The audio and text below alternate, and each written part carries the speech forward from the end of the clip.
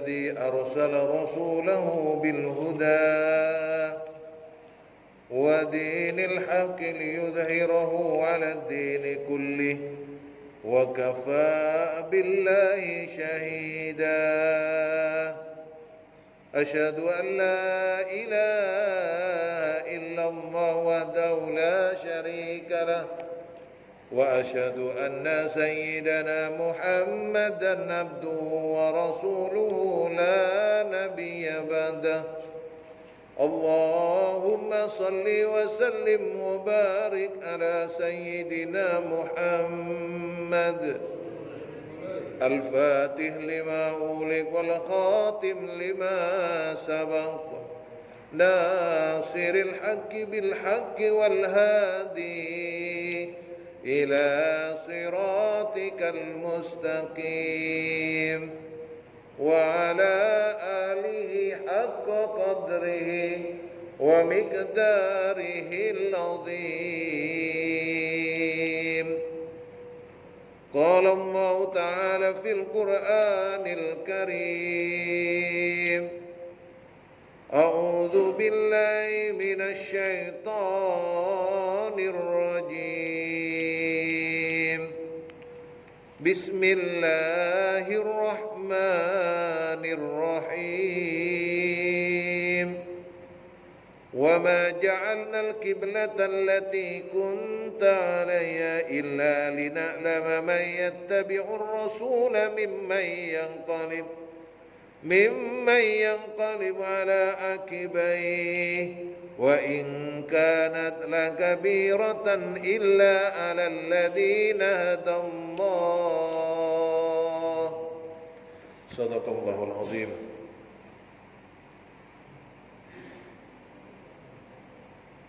وصدق رسوله النبي الكريم ونحن على ذلك من الشاهدين الشاكرين.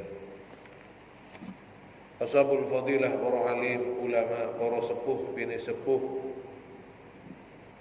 Segenap takmir masjid Al-Furqan Bapak Ibu jamaah salat maghrib dan isya yang dirahmati Dan semoga selalu dirahmati dan dibarokahi oleh Allah subhanahu wa ta'ala Mari kita bersyukur bersyukur kepada Allah. Semoga syukur kita menjadi salah satu sebab kita semua diberi Allah anugerah rahmat untuk umur yang panjang untuk beribadah kepada Allah Subhanahu wa taala.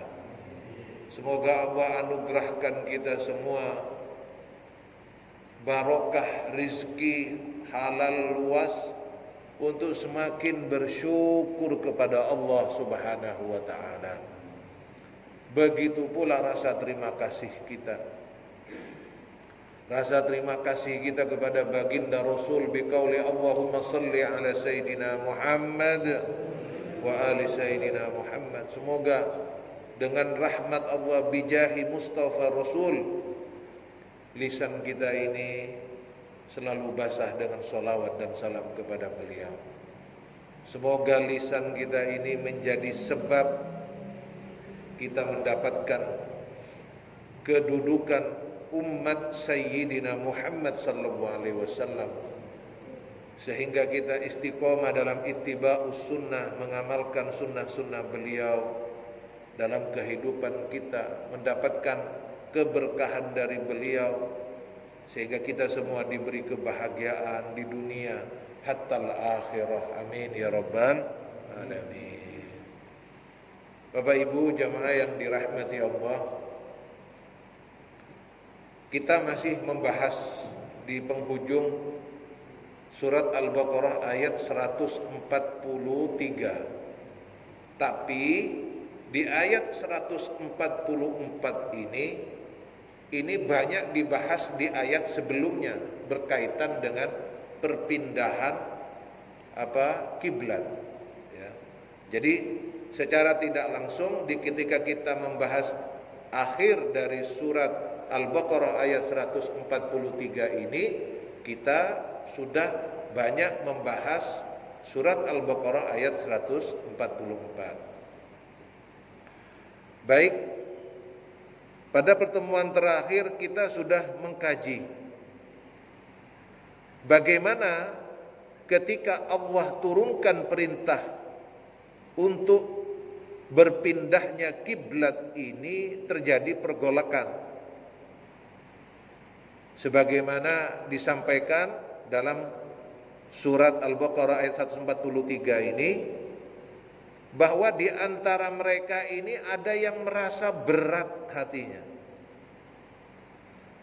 Maka kalau dibuka di surat Al-Baqarah ayat 144 itu diterangkan di sini Bapak Ibu yang dirahmati Allah bahwa ketika Rasulullah datang ke kota Madinah di awal-awal kedatangan beliau bahwa di Madinah itu penduduknya kebanyakan Yahudi.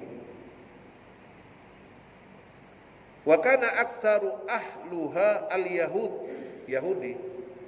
Fa amarahu Allah ayyastakbila Baitul Maqdisi. Jadi di awal-awal itu Rasulullah datang banyak orang Yahudi memang. Makanya perintahnya menghadap ke kiblat. Tapi karena disampaikan Sebenarnya karena Rasulullah itu sebenarnya keinginan hatinya beliau itu ingin mengikuti Nabi Ibrahim menjadikan kiblat yaitu Ka'bah. Itu Rasulullah bolak-balik menengadahkan wajahnya ke langit. Maka di ayat 144-nya disebutkan qad nara taqalluba wajhika fis sama. Muhammad, kami ini melihat kamu itu menengadahkan wajahmu ke langit, ngerti. Minta pindah kiblat itu ngerti. Tetapi ini menjadi berat bagi orang Yahudi. Kenapa? Nah, ini disampaikan ini. Kenapa kok kemudian mereka mengubah kiblatnya? Maka sungguh ini juga berdampak kepada orang-orang yang awalnya mengikuti Nabi ketika terjadi perubahan kiblat. Nah, ini juga bermasalah. Kenapa? Karena ternyata mereka tidak sungguh-sungguh mengikuti Rasulullah Muhammad SAW. Kenapa? Kalau memang mengikuti Rasulullah itu tidak pakai tawar-tawar, saya sampaikan kemarin. Bahkan sahabat Abu Bakar ketika diceritakan Isra Mi'raj itu sampaikan kepada beliau Rasulullah. Ya Rasulullah, andaikan engkau menyampaikan kepadaku sesuatu yang lebih dari yang engkau sampaikan ini, saya tetap percaya kepadamu ya Rasulullah. Engkau melakukan perjalanan dari Masjidil Haram dari Masjidil Aqsa alladzi barakna hawlahu. Perjalanan dari Masjidil Haram menuju Masjidil Aqsa atau Baitul Maqdis sampai ke Sidratul Muntaha dalam sepertiga malam Rasulullah saya kalau panjenengan yang matur percaya As-Siddiq makanya nah tapi bagi sebagian orang nah ini berat ini. Nah, terjadi seperti ini berat. Kenapa? Karena itu tidak sesuai dengan keinginan mereka. Makanya Wa idza ma unzilat suratun faminhum may yaqulu ayyukum ayyukum zadathum ayyukum zadathu hadhihi imana. Makanya disampaikan oleh Allah ketika turun perintah untuk berpindahnya kiblat ini di antara mereka ada yang bertambah imannya yakinnya tapi di antara mereka yang beriman itu diberi kabar gembira karena tetap taat kepada Rasulullah, sedangkan mereka-mereka yang hatinya sakit, yang hatinya bermasalah, maka yang ada adalah kebencian. Nah. Sehingga mereka bertanya-tanya, kenapa? Ada apa? Makanya Padahal ayat-ayat Al-Quran itu setiap turun itu bagi orang yang beriman itu harusnya menjadi obat. Wa nunazzilu minal Qur'ani ma huwa shifaa'u wa rahmatul lil mu'minin. Wa nunazzilu minal Qur'an dan aku turunkan Al-Qur'an sebagai apa Pak? Penyembuh. Kalau obat bisa cocok, bisa tidak. Syifa. Kalau obat dawa. Syifa. Kalau syifa ini mesti cespleng. Loh, saya kok nggak sembuh? Berarti kurang yakinnya, kurang imannya. Sama, kalau kita ini sudah yakin, mantap, pasrah, tauhid, tawakal kepada Allah, nggak akan ketemu pak sama memedi itu akan ketemu. Sama jin akan ketemu. Iya. Nah kalau masih ketemu nah ini. Berarti punya bakat ini. Iya. Punya nomor HP-nya paling. Jadi kalau sudah mantap itu nggak ada. Mereka juga nggak akan. Paling seriwing-seriwing paling paling merinding malah. Ya namanya manusia kan ada unsur badan, ada unsur ruh, biasa. Nah, kan kita bisa saling tahu ya. Jadi kembali lagi ayat yang turun kepada mereka itu harusnya semuanya ini menjadi penyembuh. Bukankah syahrul Ramadan alladzi unzila fihil Qur'an hudan linnas wa bayyinatin minal huda wal furqan. Al-Quran itu petunjuk selain tadi loh ya, selain nunazilul syifa itu. Fungsinya kan memberi petunjuk. Harusnya Al-Quran turun langsung terima. Bukan ditentang, bukan dilawan. Begitu. Maka yang terjadi kemudian walihada karena man thabata ala tasdiqir Rasul sallallahu alaihi wasallam wa itba'i fi wa tawajjuhi haitsu amaruhu min ghairi syakkin wala raibin min sadatis sahabat. Makanya para sahabat ini para sahabat ini sudah nggak pakai tanya sudah.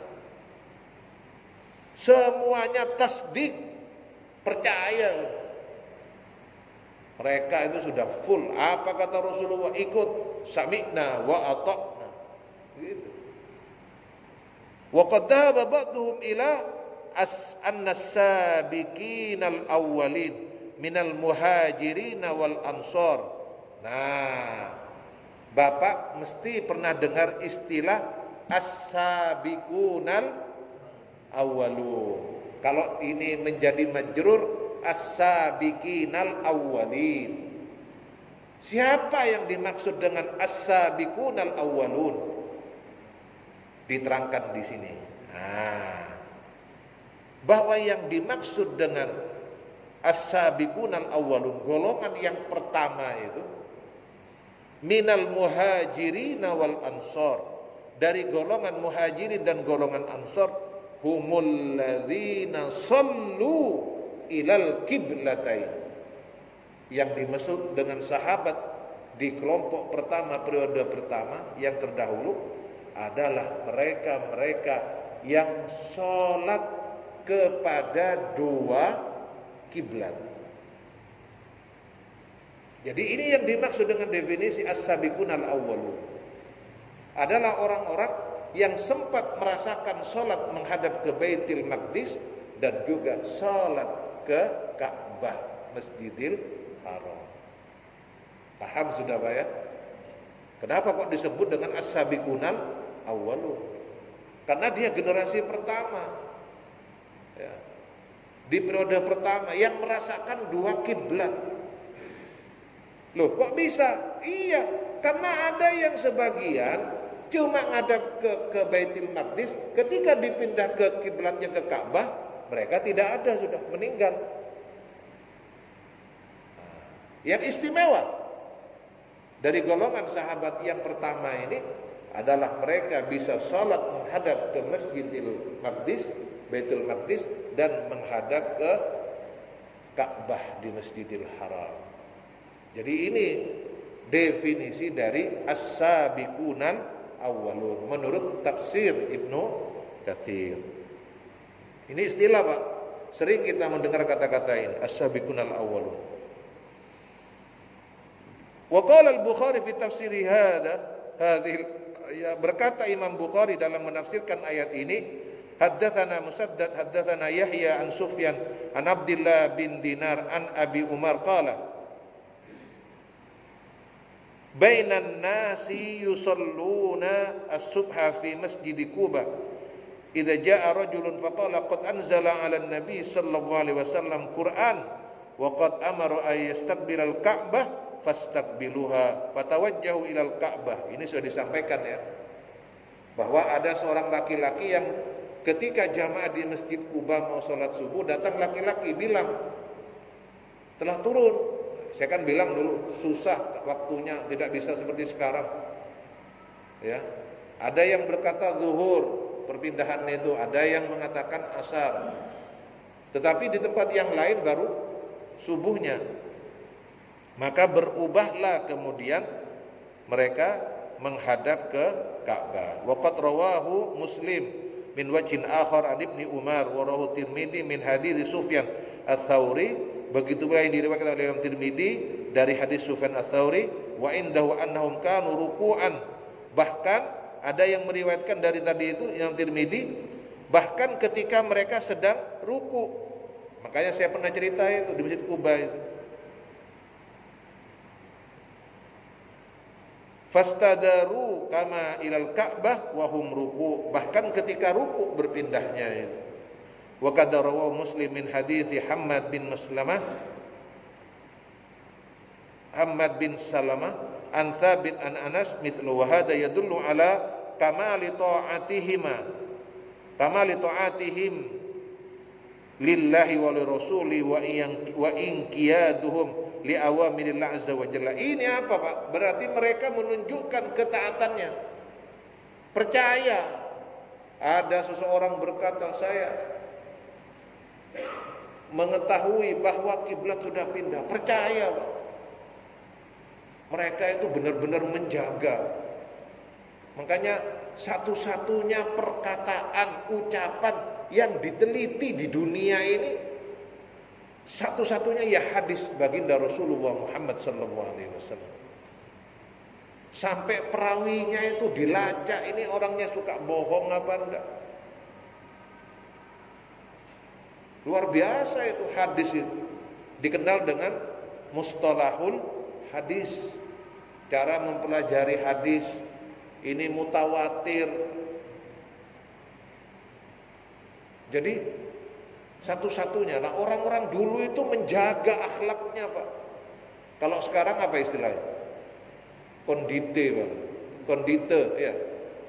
Dijaga, dinilai. Iya. Sikapnya, personalitinya bagaimana. Ngomong ini. Blessed apa enggak kalau ngomong? Nah ini. Jam piro budal? Jam songo. Jam songo dinteni. Sampai ndok Iki OTW. iki repot. OTW di mana-mana ya OTW, wong on the way, Pak. Makanya kalau NU ini ngadakan acara Ba'dal Isya, wah ini susah ini Ba'dal Isya. Setengah walu Ba'dal Isya, jam walu Ba'dal Isya, Pak. Jam songo. Bada Isya. Ayo. Eh, yes. Repot. Janjian Ba'da Isya, Ba'da Ba'da ini susah. Es, untung nggak ada hadis lagi sudah. Wa qalu wa ma kana Allah liyudhi'a imanakum. Ai salatukum ila Baitil Maqdis qabla dzalika ma kana yudhi'u thawabuha indallah. Dan orang-orang yang kemudian salat ke Masjidil Maqdis Baitul Maqdis tadi itu kiblatnya kemudian dia meninggal tidak dihilangkan oleh Allah pahalanya tetap dihargai oleh Allah. Lo pindah terus ya apa? Nah, gitu. Ya apa? Sama dengan orang wakaf. Saya wakaf semen. Nah, Makanya hati-hati kalau orang wakaf, orang sumbangan ini hati-hati. Jangan sembarangan. Makanya jangan sampai manfaatnya kemudian tidak ada lagi. Orang mewakafkan ke masjid, bangun apa dan sebagainya. Nah, itu harus hati-hati juga. Selama manfaatnya masih bisa diperoleh, maksudnya manfaatnya itu bagi orang banyak, nggak masalah. Itu. Jadi sama konteksnya. Kalau sudah dipindah kiblatnya bagaimana sholat saya yang sudah dulu saya lakukan? Nah itu tidak masalah, tetap di, dihargai oleh Allah dengan limpahan pahala ganjaran dari Allah Subhanahu wa taala. Wa fi sahih min hadithi Abi Ishaq As-Sabi anil Barra qala mata qaumun kana yusalluna nahwa Baitul Maqdis. Faqala nas ma halu fi Ada yang bertanya ini, bagaimana orang-orang yang sudah meninggal sedangkan mereka sholatnya menghadap ke Baitul Maqdis? Bagaimana keadaan mereka? Fa anzalallahu taala. Maka Allah turunkan ini pertanyaan orang-orang ini bagaimana pahala mereka itu? Allah nyatakan saya tidak akan menghilangkan apa yang telah mereka lakukan dari penghambaan mereka, keimanan mereka. Rawahu Tirmidzi an Ibnu Abbas wa sahabu. Wa qala Ibnu Ishaq haddatsani Muhammad bin Abi Muhammad an Ikrimah Sa'id bin Jubair an Ibnu Abbas wa kana wa ma kana Allah liyudhi imanakum ay bil qiblatil ula wa tasdiqukum nabiyya wa tiba'i ilal qiblatil ukhra ay liyutiyakum ajrahuma jami'an ila wa bin nas la raufun. Kenapa? Karena sesungguhnya Allah itu maha penyantun. Allah itu tidak pernah lupa. Berterima kasih, menghargai, memberikan penghargaan. Tidak pernah. Semuanya dihitung oleh Allah subhanahu wa ta'ala. Wa al-Hasan al-Basri wa ma kana Allah liyudhi'a imanakum ay ma kana Allah liyudhi'a Muhammadan sallallahu alaihi wasallam wa insiraf wa wansarafakum ma'hu haitsu insarafu bagaimana kemudian Allah tidak akan menghilangkan bagi Muhammad dan umatnya setelah berpindahnya kiblat itu pahala-pahala yang telah mereka lakukan. Inna Allah bin nasi la raufur rahim. Wa fi sahih anna Rasulullah sallallahu alaihi wasallam ra'a imratan minas sabyi qad farraqa baina wa baina walada faja'alat kullama wajadat sabiyan minas sabyi akhadathu fa alsaq فألصقته بصدرها وهي تدور على والدها. فلما وجدت ضمتها إليها وألقمتها ثديها. فقال رسول الله صلى الله عليه وسلم أترون هذه طارحة؟